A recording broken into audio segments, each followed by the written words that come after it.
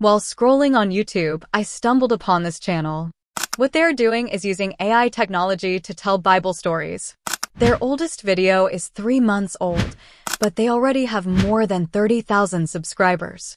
Let's look at one of their videos. town of Bethlehem, a child named Jesus was born to Mary, a simple ma- These videos are gorgeous. The only thing they do is use Pixar animation style clips and do a voiceover. That made me think we can make something similar too. To prove that I also made a similar scene. The best thing is it cost me absolutely nothing. In today's video, I'm going to show you how to make something like this. First, we must generate some animations for the work. But the AI is not good with generating stable and consistent scenes. So, we are going to generate an image first and use the image to video option to generate a video. We can create Pixar style images easily with Leonardo AI's 3D animation style model. But there is some issue. You can see people have created lot of beautiful images using this model. But if we use the remix option, we will get something like this for the same prompt. And if we try enabling the prompt magic option, which consumes double the number of credits, we still get something like this.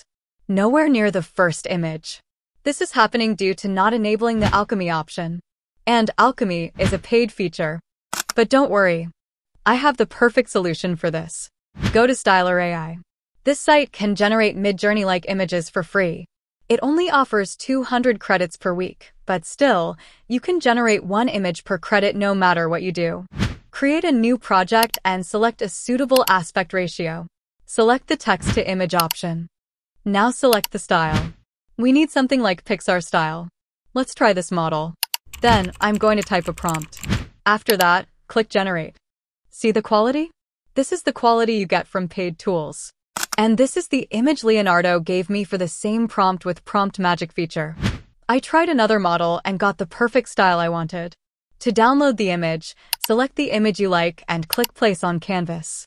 You can download the image by exporting or right-clicking the layer. Now it's time to generate the video. Go to Runway ML website.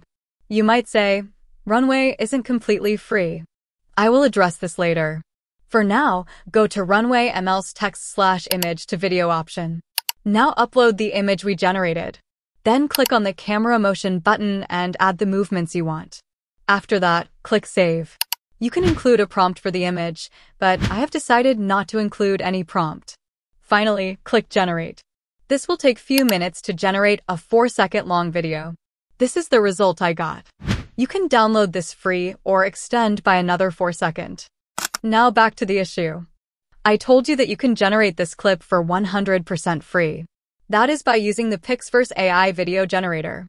This tool is 100% free and do not have any limitations at the moment I'm making this video.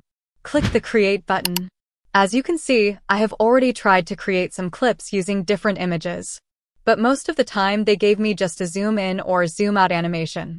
This is the reason I used Runway ML. But sometimes this tool can give amazing results. Let's try again with our image. Click the Image to Image option. Now upload the image we generated. I'm going to use a simple prompt to describe the instructions. Most importantly, enable this option called HD quality. Then click the Create button. And this is our result. This time it came out fine. You can choose the best one out of these two websites. And that's it. You just have to repeat the same process and create enough video clips for your short animation video. For the voiceover, you can use a tool like 11 Labs for human-like narrations.